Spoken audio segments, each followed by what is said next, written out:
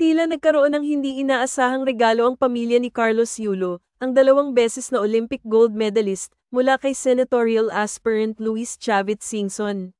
Kamakailan lamang, iniulat ng ilang lokal na media na nagbigay si Singson ng halagang 1 million pesos sa pamilya Yulo bilang hakbang upang ayusin ang hidwaan sa pagitan ni Kaloy at ng kanyang pamilya.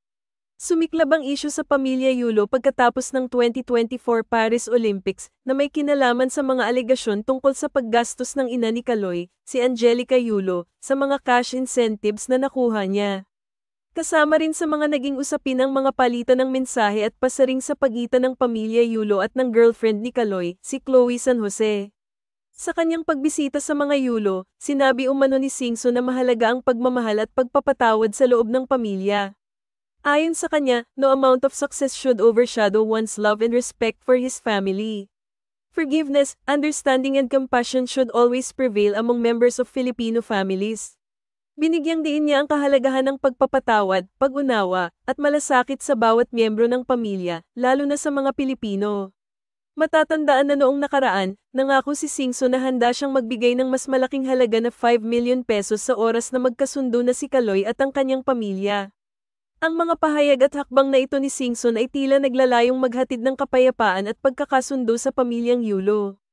Ang sitwasyon ay nagbigay diin sa mga hamon na kinakaharap ng mga atleta, lalo na kapag ito ay may kinalaman sa kanilang pamilya at personal na relasyon. Maraming tao ang nakakita sa mga pag-uusap at isyo na nag-uugat sa mga pampinansyal na aspeto at kung paano ito nag-aapekto sa relasyon ng bawat isa.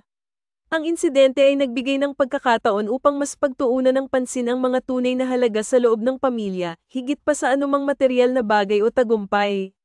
Sa kabila ng mga kontrobersya, maraming mga tagahanga ni Kaloy ang umaasa na ang pagkakaloob ni Singson ay magiging simula ng pagbabago at pagkakasundo sa kanilang pamilya. Ang mga ganitong hakbang ay nagbibigay inspirasyon sa ibang mga pamilya na lutasin ang kanilang mga hidwaan sa pamamagitan ng pagmamahal at pag-unawa, sa halip na pahabain ang hidwaan sa pamamagitan ng masalimuot na usapan. Ang pamilya Yulo, bilang isang prominenteng pamilya sa larangan ng sports, ay inaasahang magiging halimbawa sa mga susunod na henerasyon kung paano dapat maging matatag sa kabila ng mga pagsubok. Ang mga aral na makukuha mula sa kanilang karanasan ay maaaring magsilbing gabay hindi lamang sa mga atleta kundi pati na rin sa lahat ng tao na nakararanas ng katulad na sitwasyon.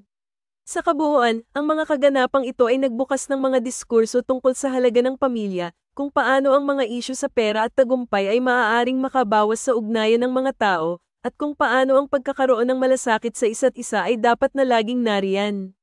Sa pagtatapos, umaasa ang lahat na ang pagkilos ni Singson ay hindi lamang isang pansamantalang solusyon kundi isang hakbang patungo sa mas maayos na relasyon sa pamilya Yulo.